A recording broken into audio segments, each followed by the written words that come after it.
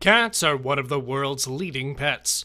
They are seen to be very cute to a lot of humans and their companions, pets, and even sometimes a bit of security when they act as alarms.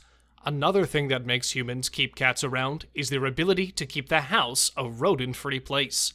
This ability is due to the fact that cats are carnivores, which basically means they need to eat meat to survive.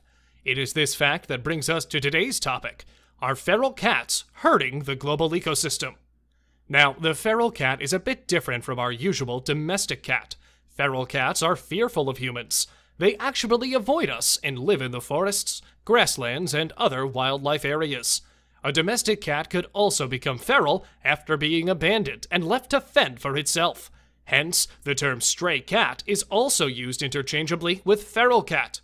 Although some of these cats survive by eating garbage and other things they can find, a lot of them survive through their carnivorous diet and predator instinct. They become prime hunters of the vulnerable animals they can overcome, such as rats, rabbits, squirrels, birds, and lizards. You might be thinking that these are just minor in terms of what they eat, but what if I told you that in America and Australia alone, feral cats are responsible for the death of over 5 billion native animals annually? Yes, a lot of research has gone into the influence of feral cats by environmental researchers.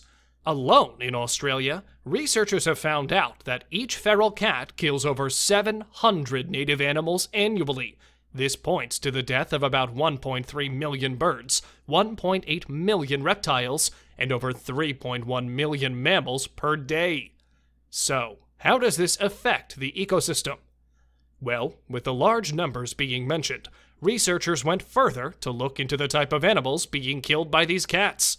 They found that among the reptile victims of the feral cats, they were about 258 different kinds of Australian reptiles, and this included 11 threatened species, such as the Christmas Island forest skink, the pygmy copperhead snake, and some endangered turtle species. On a general scale, feral cats have been found to prey on 16 threatened native species of animals in Europe. The threat of cats to other animals is widely known. Cats are known to have contributed to the extinction of 63 species of birds, mammals, and reptiles in the wild, and they are also among the invasive mammalian predators. These animals are among a group currently endangering about 596 species at risk of extinction. The International Union for Conservation of Nature has since listed cats as one of the world's worst non native invasive species. What puts them among the top members of the list is their carnivorous nature, coupled with their increasing number worldwide.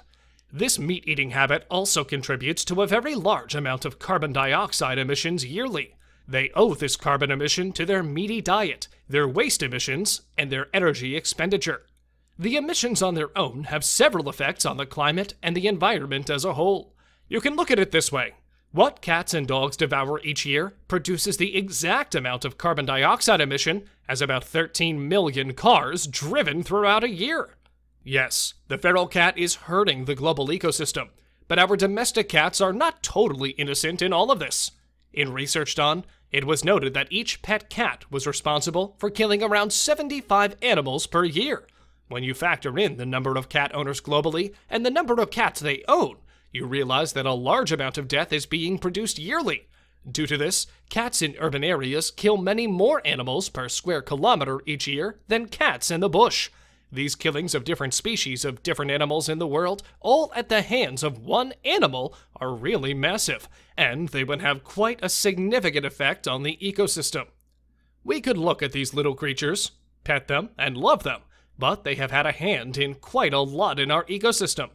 Presently, many people are trying to come up with different ways to reduce their negative effects on other animals and the ecosystem in general. Their numbers, however, are still on the rise. Thank you for watching this video. I hope you enjoyed it. Please like and subscribe for more content in the future.